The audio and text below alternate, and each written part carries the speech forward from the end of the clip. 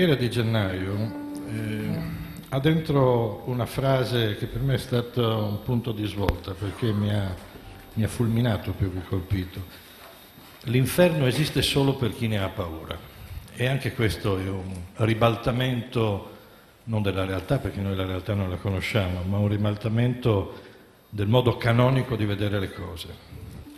De André in questo è, è totalmente diverso dal Let It Be dei Beatles, in cui il lutto di Paul McCartney, eh, che aveva appena perso la madre, cerca una sorta di autoconsolazione. Lui no, non, non cerca nessuna autoconsolazione, cerca una consolazione reale e costante proprio in quello che normalmente ci viene descritto come colui che esiste per punirci. E vedi che andando, procedendo, si entra nel profondo ed era stato accennato prima, a me interessa molto. E vede che per me la figura centrale poi è Gesù.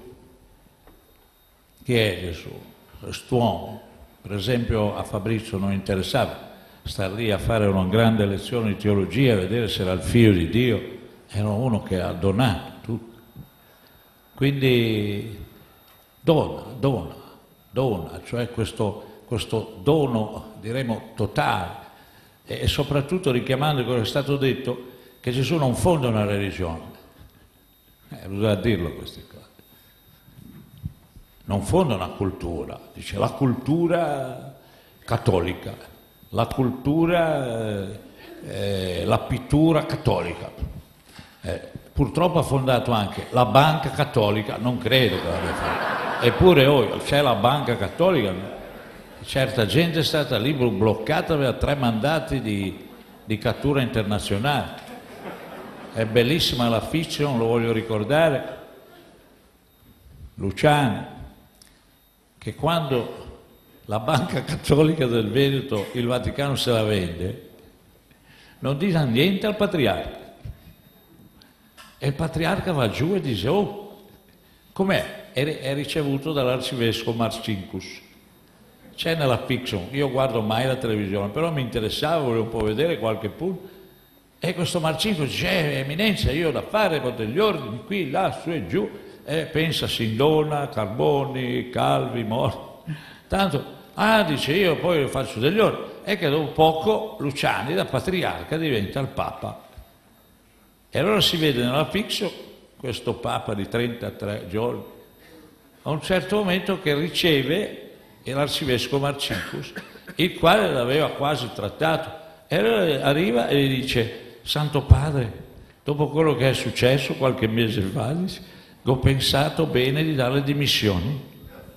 E il Papa le prende e dice, Eccellenza, le dimissioni le dà quando dico io, mi porti un po' i conti dello IOR.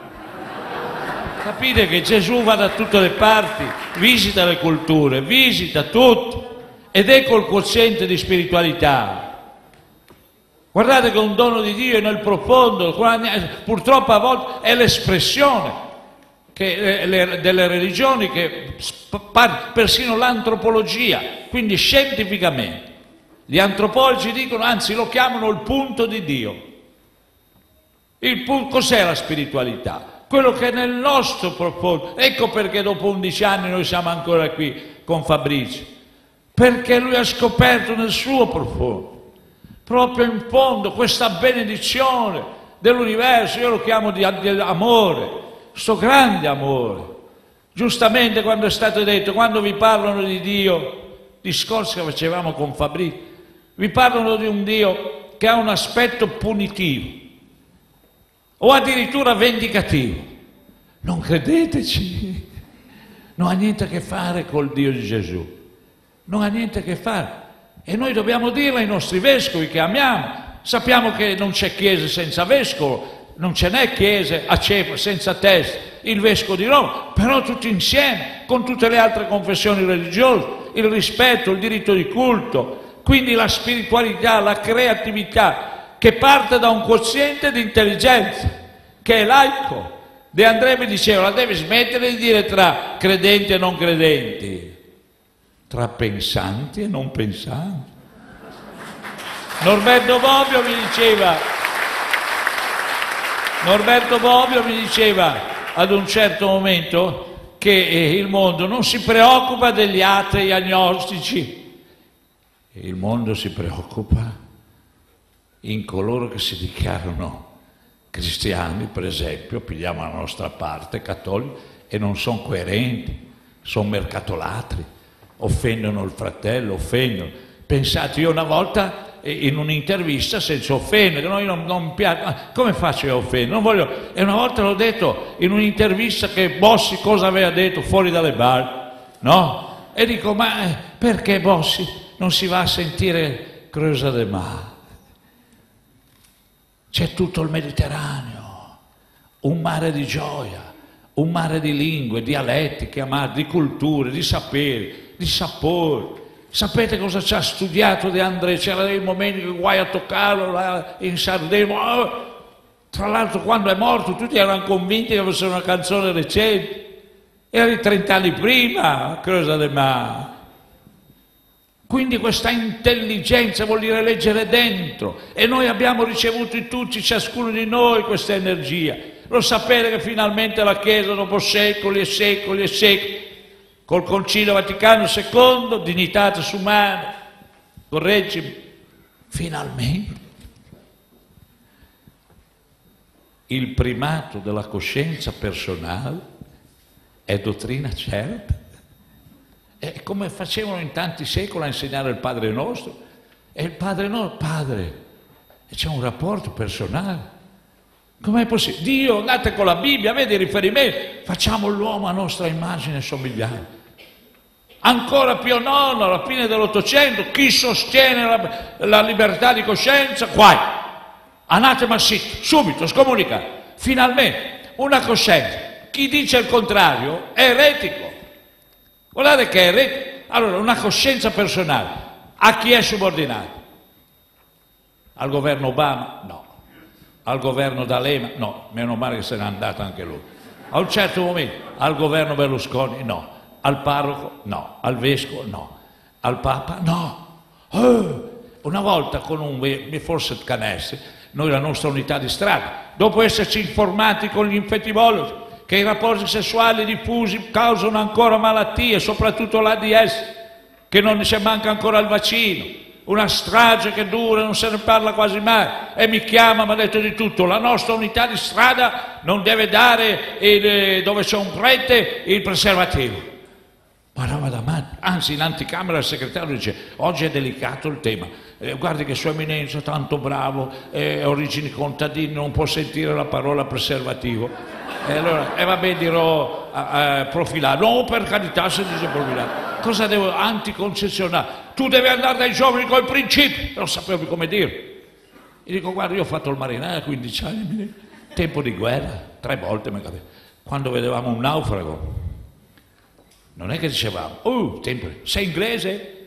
Sei francese? Americano? Va a No, naufrago subito. E noi abbiamo accettato l'Italia al pacchetto sicurezza. Io anni che non saluto, io sono stato anche tenente cappellano della Marina. Mi salutavano, no, non ti saluto. Accettate l'ordine di impacchettare i naufraghi darli a Gheddafi e che baciate le mani. È contro la tradizione antichissima della cultura marinara. Avete capito? Guardate lì dopo pochi mesi. Quindi questa attenzione. E allora Canesse dico, guardi eminenza, che ci fosse il rogo. Lei finì, ecco non c'è il momento di scherzare. E eh no, perché lei è eretico. Ma? Ma guarda che questa gente, immagini se io non propongo la morale cattolica, la preparazione al matrimonio, la purezza, tutte le nostre tradizioni. Però Eminenza lì mi era scappato perché io da troppi anni viaggio negli angiporti di Genova, Barcellona, Marsiglia e mi è scappato. Dico, ma lei Eminenza lo sa che i ragazzi scoppano? Gli ho detto, oh, ma cosa dici? Oh scusi, i rapporti sessuali sono diffusi. E allora? E allora? E lei vuol negarli? Il professor Moroni di Milano, Marino, senatore, cattolici anche, è un momento di tregua. Pensate che non c'è ancora il vaccino adesso, quanti funerali ho fatto io di ADS? Pensa che anche lì Fabrizio intuisce del 68, andate, non, la suoni stasera, il cantico dei drogati, questo gioco osceno lo chiama già loro, dove c'è una frase per tutte voi mamme, soprattutto, dove il ragazzo tossico racconta la sua storia e dice del 68 erano quattro gatti, togliere il nome.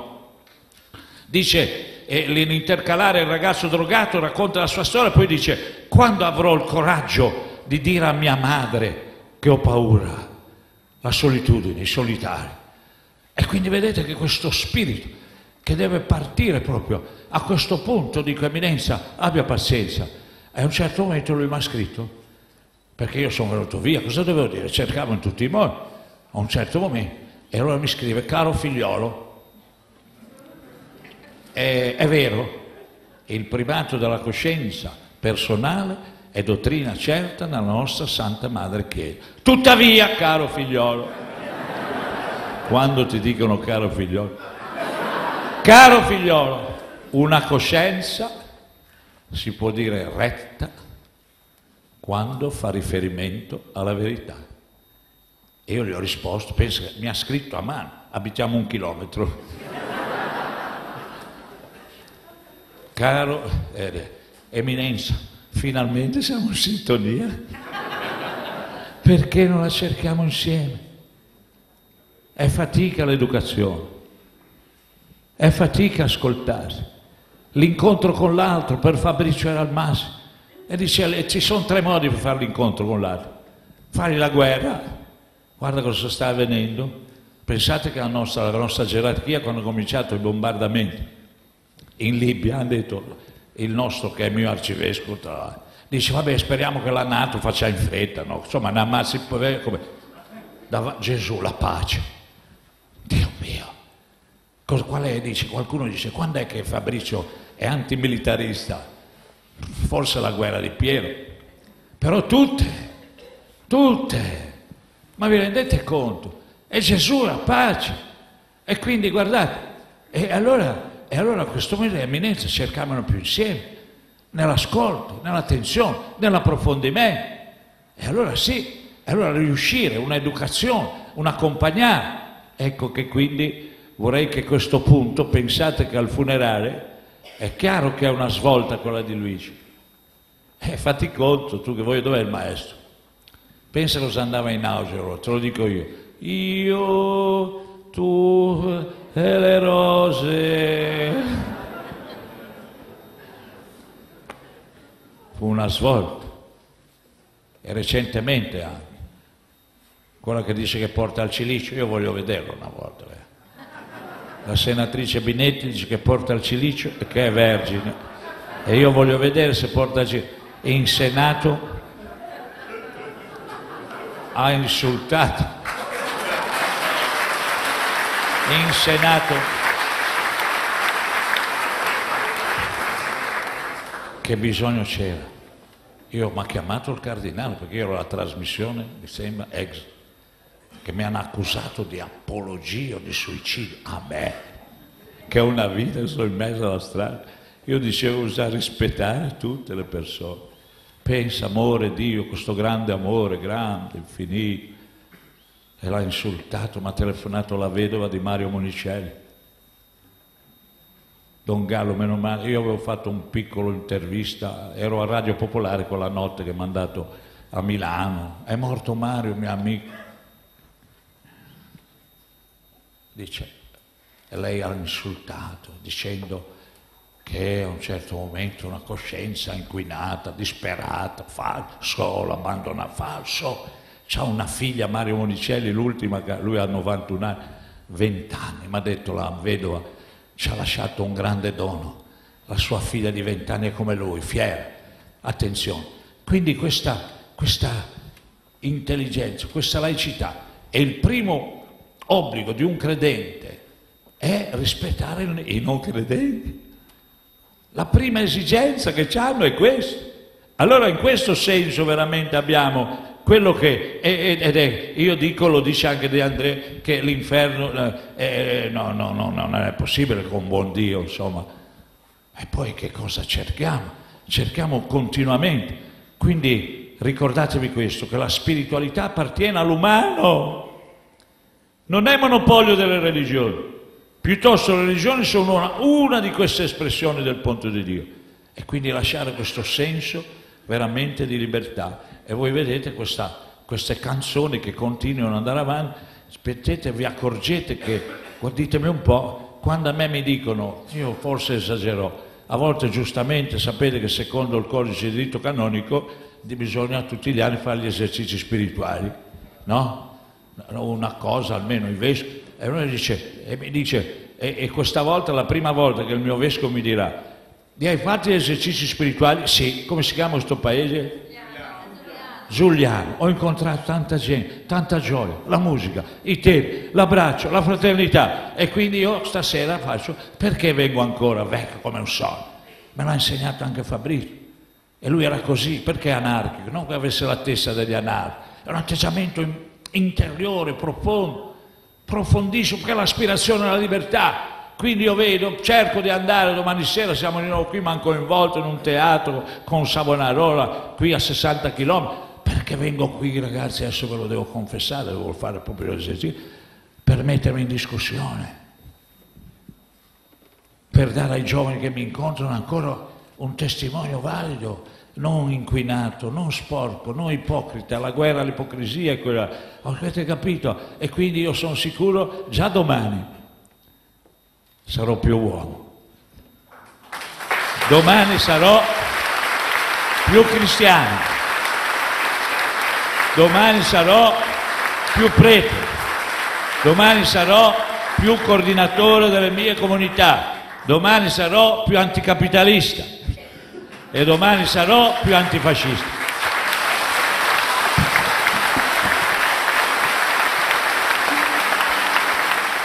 Mi parebbe che su Maria, peraltro con gli amici De Maglio e Giuseppe avevo collaborato a quelle parole che sono state pronunciate, comunicate da De Maglio prima che iniziasse l'esecuzione del canto. Ecco, poter ricondurre Maria nel cammino come donna dei nostri giorni, eh, facendola uscire dalle nicchie devozionali, secondo il mare.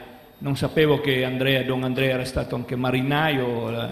Eh, il mare, il fascino del mare e non possiamo eh, non pensare al mar Mediterraneo che è diventato un grande cimitero, tra- tragico cimitero di migliaia e migliaia di persone in una fuga dalla disperazione, come dire, una ricerca di una speranza disperata e che trova morte.